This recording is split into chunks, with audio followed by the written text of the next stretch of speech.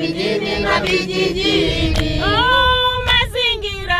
Mazingira yatunzeni mijini na vijijini. Asalamu alaikum mpenzi msikilizaji wa 94.9 Mtegani FM, ikiwa tumekutana tena kwenye kipindi cha mazingira yetu. Nikukaribishe kwenye kipindi cha mazingira yetu. Mimi mtangazaji wako Ramadhani Bilali, fundi wangu mitambo Rashidi Ramadhani Haji, mtayarishaji wa kipindi ni Samuel Haji kwenu na Mtegani FM kikifadhiliwa na UNDP na kusimamiwa na idara ya mawasiliano Ikulu. Karibu.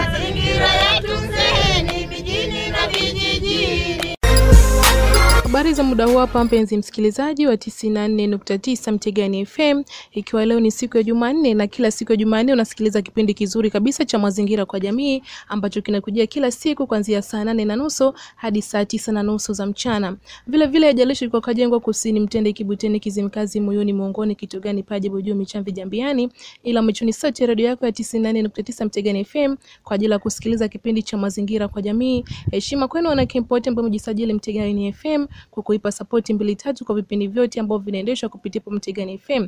Katika kipindi cha mazingira kwa jamii utakuwa nami mtangazaji wako Mwaka Muhamed Mwita, fundi mitambo Miraji Manzikae, lakini msimamizi wa kipindi ni, ni Ramazan Farido. Basi kwa pamoja ni kusihi tuendelee kuitegea sikio Mtegani FM katika kipindi cha mazingira kwa jamii, ujue kitu gani ambacho kinaendelea au kitu gani ambacho kipo katika kipindi hichi cha mazingira kwa jamii. Wewe kama ni msikilizaji, wewe kama ni mdau, wewe kama ni mpenzi wa Mtegani FM, usikose kusikiliza kipindi kizuri kabisa cha mazingira kwa jamii. Na leo tupo na baba yetu hapa, atajitambulisha mwenyewe ni nani, anatokea wapi, na yeye kama yeye analiongeleaje hili. Na katika kipindi cha mazingira kwa jamii leo tuta, tutaliongelea uchimbaji wa mchanga ovyo ufukweni mwa bahari. Je, hii ni haki au sio haki? Habari yako Nzuri tu.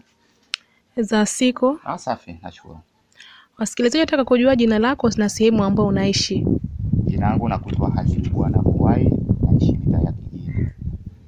Wewe kama ni mwana jamii, wewe ni kama kijana ambaye unajielewa, je, ni haki kweli uchimbaji wa mchanga baharini au fukweni? Unajua uchimbaji wa mchanga ya kwanza unaharibu mazingira. Mazingira kunako unakaribisha maji ya bahari kuja naji huko, kuharibu nyumba ama kuharibu kuharibu viwanja vya watu. Na mara nyingi unavyochimba mchanga, hata kama vino viwanja kachakuja kuja mtari kuchaka kununua kiwanja, mara njo kana kuta vina mashimo vina nini, ya kwa kutokana na hali ya maisha, kwa kiasi fulani naweza kusema serikali itokee ajira, kwa sababu wachimbaji wa mchanga, kazi wa kuchimba mchanga kwa kiasi tuumi waumi, maana hali ya maisha ni ngumu sana.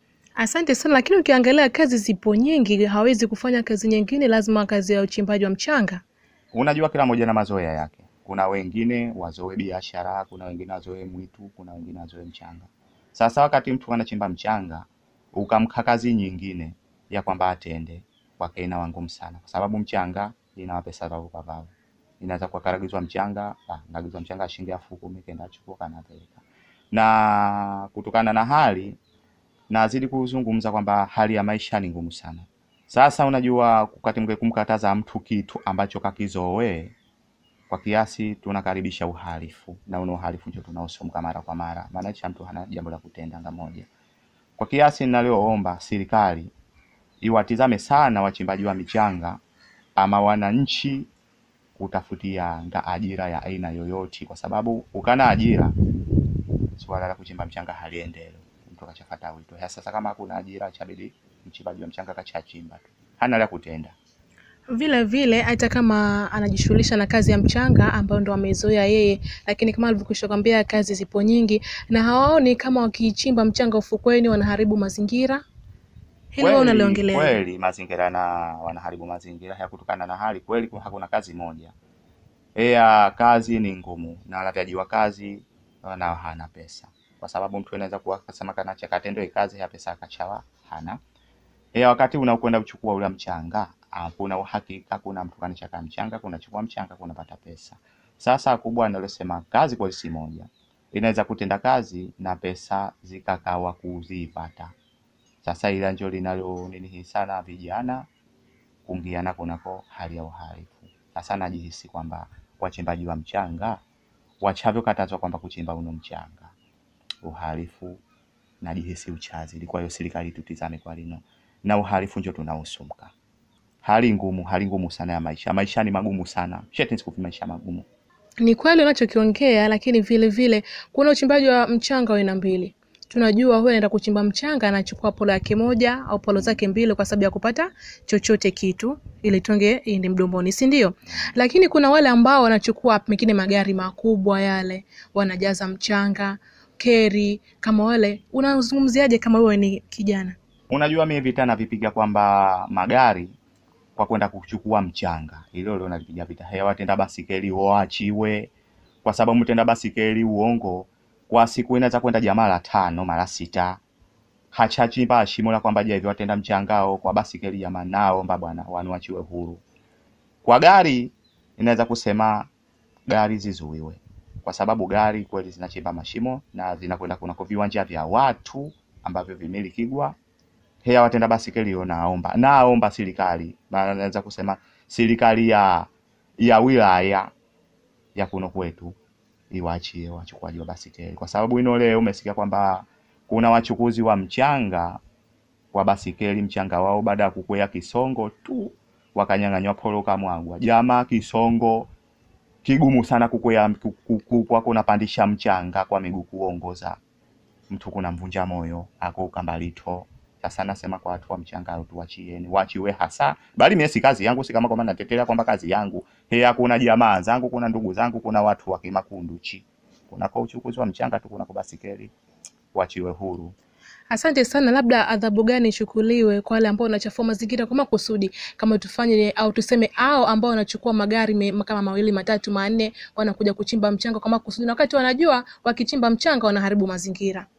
Unajua hatua vino sasa nasema isichukue isipokuwa labda uka ukazungumza na watu, lazima uitishe mkutano, uwete watenda magari walizungumzia lino swala bwana. Mpaka sasa kutokana na hali tunachafua mazingira kunako gari, kila mtenda magari utule mkutano, mchasikiliza njo kachaka sikiliza. Sasa mwana hana sikiliza njo achukuliwa hatua. Yeye anazidi kusema vingine kwa basikeli hiyo, watu waachiwe, kwa sababu ngena hasema waachiwe fundi kachakwambia ili ujezi wangu uende mbate polo tano za mchanga. Kucha kwenda kwa wanu vina sigombe wanakuza mchanga wa mjini kuchachaka polo tano wanachaka lazima ununue gari. Na haki yao kweli ununue gari kwa gari. Sasa mchanga polo ya zino tano sita huwezi kuvata kama haulichukua kigaeni. Kwa hivyo na ujezi uchazidi kuwa mgumu. Kwamba mchanga kuzuiwa kwa watenda basikeli kwa sababu watenda basikeli nsifiche wanatusevu sana. Heya kute watenda magari wakachafua mazingira vyo wachukuliwa hatua. Heya utuliwega mkutano watuliwega mkutano. Si wafosigwe tu watuliwega mkutano. Na ikiwezekana mikutano tayari imeshawekwa sehemu mbalimbali, uchimbaji wa mchanga tunasikia unapigwa marufuku kwa magari kwenda kuchukua mchanga pwani, lakini vile vile hawaelewi kama wale labda wachukuliwa hatua gani. Tayari mkutano ushawekwa, washaelimishwa, lakini bado wanakuwa wagumu wa kuelewa. Unajua inaweza kusema hatua ichukue heya nakona kwa kimakundu chihamba mkutano jawo sijasikia kwamba wetu watenda magari kwa kutulia mkutano isipokuwa wanazungumziwa mno nje yetu. Sasa nacho kinini siwezi kusema kwamba wanatenda makusudi isipokuwa uambiwe ga. Heya nakona kuambiwa hamba hawajaambiwa. Heya nalo naliomba wakubwa kama mkuu wa wilaya na weziwe wawete watenda magari ofisini kwao ama mahakokoti kula hata kama mwehe kuna kunako uwanja wa mwehe. Heya wawaambie bwana mpaka sasa kutokana na hali. Kwazia sasa ama kwazia leo mchanga kunako uchukuzi wa magari hatutaki. Ilio leo ndio naliomba heya anazidi kuomba tena watenda basi gari wachwe Asante sana. Wito wako kwa jamii na serikali kwa pamoja.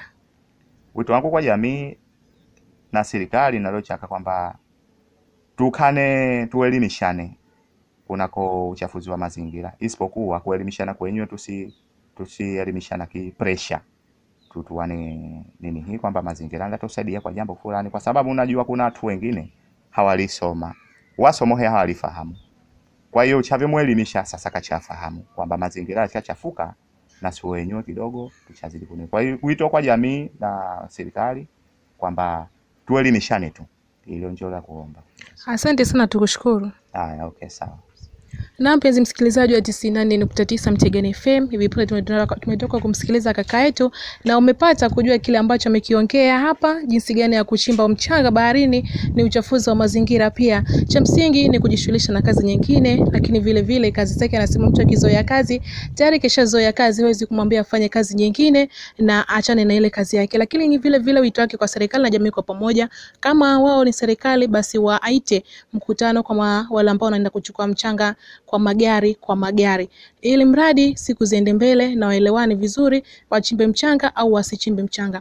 Basi tupate breki fupi, tukirejea tena tutakwambia kitu gani kinaendelea, au tutazidi kuendelea na kipindi chetu kizuri kabisa cha mazingira.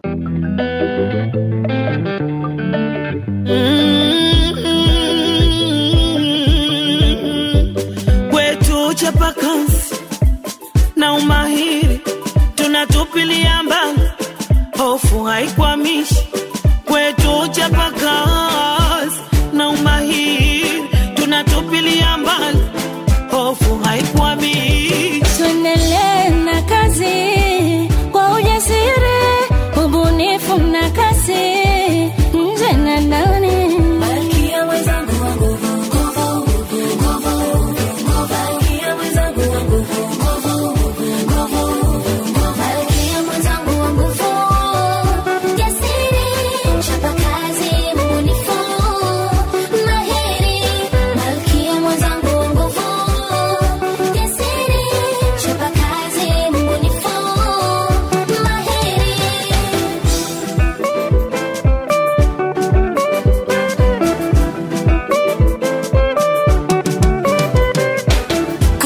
kujamini ndo zetu ofisi ya mpango wo, oh, nguvu kwenye kazi tena za viwango. Oh, tujitume tufikie malengo tushikane tuongeze na mwendo. kwetu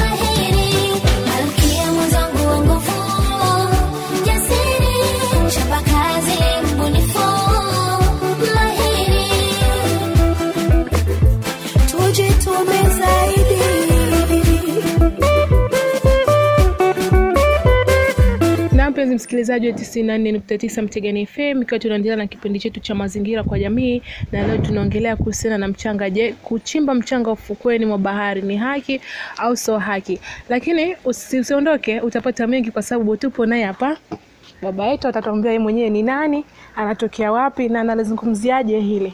Habari yako? Habari mzuri, Salama. salama. Wasikilizaji nataka kujua wewe ni nani, unatokea wapi? Nina kutoka Haji Masudi Ali na raia kempu atupatane kempu, lakini watu wengi wanajua kwa jina la ba- umaarufu Babylon. Asante sana, tukushukuru. Je, ni haki kweli kuchimba mchanga ufukweni kwa bahari? Kuchukua mza- kuchimba mchanga kuna kwa ufukwe wa bahari nina na majibu, na, na majibu mawili, haki halafu si haki. Kwa sababu gani ukaongea hivyo? Sababu ya kwanza nasema kuchukua mchanga haki, kwa sababu mtu kanachukua mchanga kwanza kwenda kutafutia kutafuta riziki, kanachukua mchanga mtu kwa ajili ya kwenda kuuza ili apate pesa kwa mahitaji ya nyumbani. Alafu mtu kana kwenda kanachukua mchanga kana atua nyumbani kwa ajili ya ujenzi yeye mwenyewe binafsi. Halafu na maana kusema si haki, unajua uchukuaji wa mchanga wa vino sasa na zamani tofauti. Zamani ndio mchanga tunachukua bana sehemu moja tu ambayo inachukuliwa mchanga ina maana vino sasa mchanga unachukuliwa sehemu mbalimbali, na mnamo- mnamochukuliwa mchanga ina maana mnatendeka mashimo. Sasa hayo mashimo peke yake yana- yanaharibu mazingira. Ndio maana nikasema kuchukua mchanga vino sasa ni haki, halafu si haki. Kwani tuseme hamna kazi nyingine za kufanya, lazima mtu akachukue mchanga? kazi za kutenda ziwa muhe kila mmoja na kazi yayo zoe ya kwa sababu jamii yako ndachukua mchanga kwa njoo mvate riziki mimi nasema itanishinda kwa sababu silizo ya kuchukua mchanga ina maana mimi kwenda ngupu pwani nichukue kipoli changu kimoja au njuu na jioni nyendo ya pili mbele kipoli changu cha pili na siku kwa siku hiyo nchoko ya mazao yako kwa siku anaweza kwenda kachukua vipolo ishirini kwa siku moja kwa sababu ile kazi kazoe. Na mtu yeye pengine mbalimbali, na haki. na mleka kondeni akalime jembe lina mshinda kwa sababu alizoea kulima Kazoe mirizi kidogo na nazipatia kwenda kuchukua mchanga Lakini vile vile kijana kama kijana au mzee kama mzee hataki kujishughulisha na kazi moja, kazi moja tu, kwa sababu ukiangalia kazi zipo nyingi. Kuna kazi ya kukata msitu, kuna kazi ya mfano tuseme pwani, watu wanaenda kuona wanavua, kuna kazi ya kwenda mashambani. Kwa nini mtu abenzi sehemu moja ya kuchukua mchanga, na kati anajua fika mimi nikienda kuchukua mchanga tayari na haribu mazingira? unajua kweli kazi ziwa nyingi za kupata riziki lakini vile sasa kula kula mtu unakwenda ukatafuta riziki unajasahau kama kuna haja kamatwa kula kula mwituni. Sasa ndio watu wengi wako na mimi wakati nago makutunda kazi ina kazi ya kuchukua mchanga ina nipatia riziki. Bora mimi mbezi kazi kazino kuliko kuja kwenda mwituni kwa kudahangaika kwa mpate riziki watu kada jaka matwa ila riziki na naja ikosa halafu vile vile naja ngojona pesa zaidi ni lavye mpige mpigwe faini. Sasa bora mimi nakwenda kuchukua mchanga. Bali kwa kazi mna nyingi sana za kumpata riziki lakini na mazoea Uchukuaji wa mchanga una, una athari gani kwa, kwa sehemu za athari yake kubwa ina maana unapochukua mchanga lazima chivatatendeka shimo sasa wewe mwenye kuchukua mchanga kuvijua kama vile fulani vana shimo lakini ile ukangi mgeni au pengine mwenyeji wao makunduchi lakini kende kula nyakati za usiku. Tuseme usiku ambao mwezi usiku wa giza. Lakini kana kuonenda lakini havijui kama vana shimo kana kuonenda bahati nzuri bahati mbaya kana tumkiwa vanavyo shimo kala wakawa mzima nje Mungu azidi kumjalia, lakini pengine wangi shimo ni akaja kata mguu akakata mkono akaja pata ulemavu wa maisha.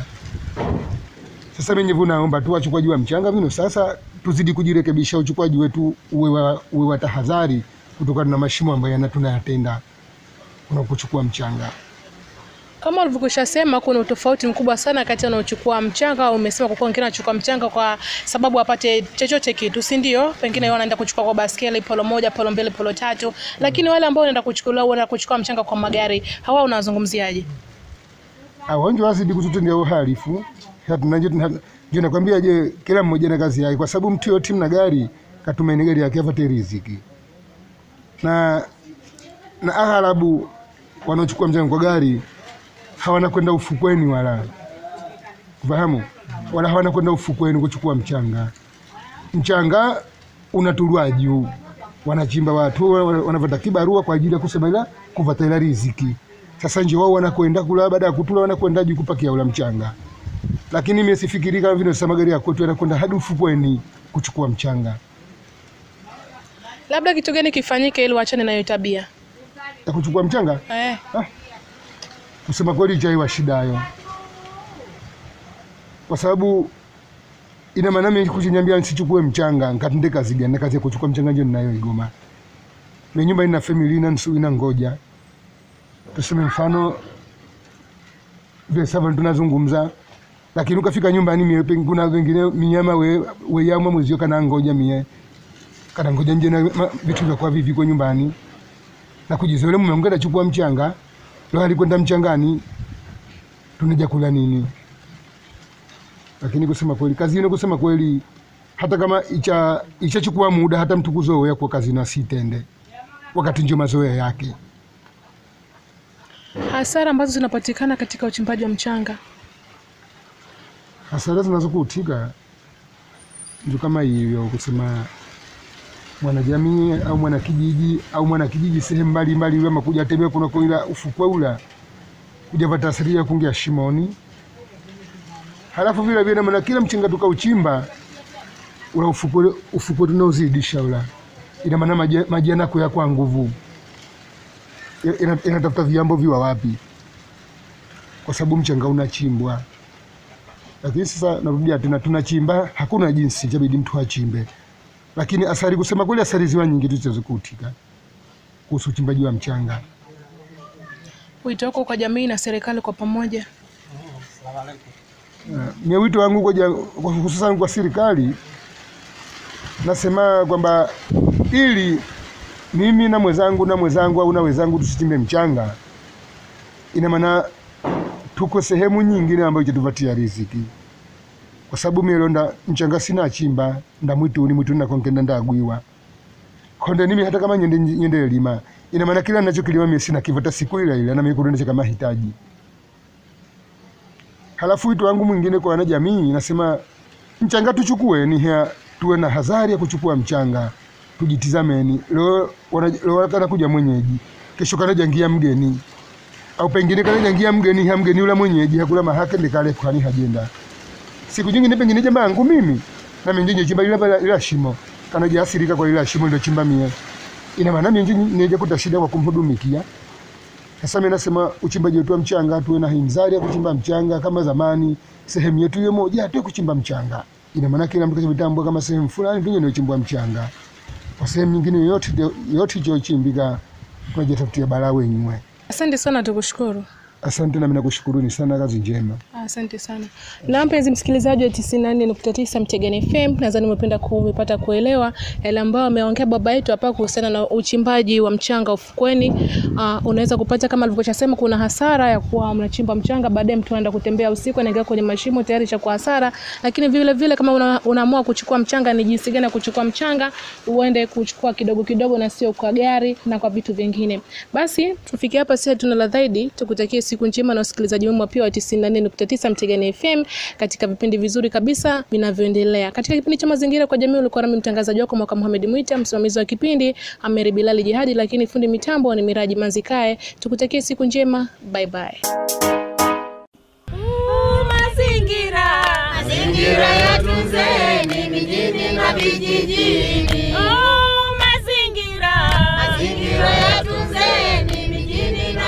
Kipindi hiki kimeletwa kwenu na Mtegani FM kikifadhiliwa na UNDP na kusimamiwa na idara ya mawasiliano Ikulu. Hadi hapa hatuna la zaidi. Kwa niaba mi mtangazaji Ramadhani Baya Jihadi, fundi wangu mitambo Miraji Manzikae, mtayarishaji wa kipindi ni Saumwali Haji. Tukutane tena siku nyingine.